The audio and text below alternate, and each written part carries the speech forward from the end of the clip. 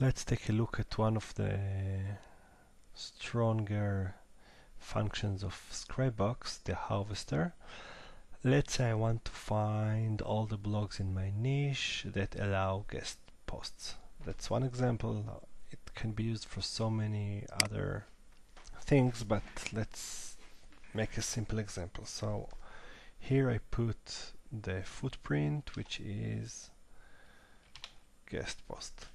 And the keywords, I'll put my niche, let's say it's dog training. I can put here a list, cat training, etc. Okay. After I put it, of course, I made sure to use proxies and to harvest latest proxies. I can start harvesting Google. I click on start harvesting. I have here all, not all, but many sites I can harvest from.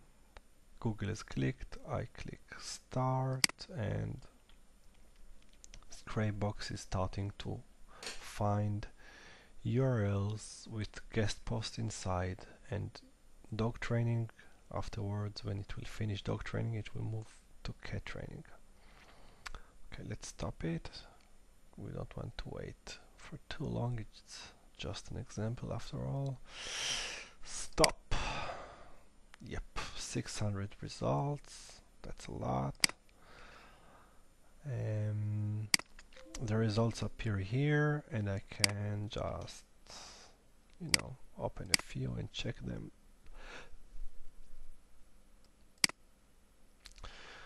Okay when I right click on the URLs there are many things many functions I can do on the URLs and one of them is to open them all in my browser that's what I want to do I want to take a look am I brave enough to open the seven URLs? Yes, I am.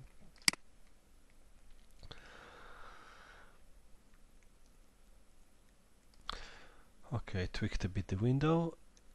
Um, so here I see guest post, which means this site accepts guest posts. I can go later to contact and ask this site to send them my posts. Let's check another site. So here is another site and here again a guest post which means this site will also accept guest posts.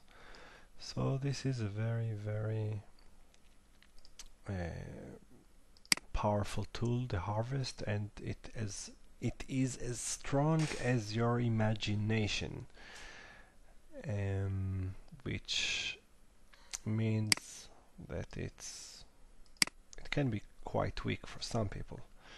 But just think how much you can get from just searching for any combination and get all the sites that use that combination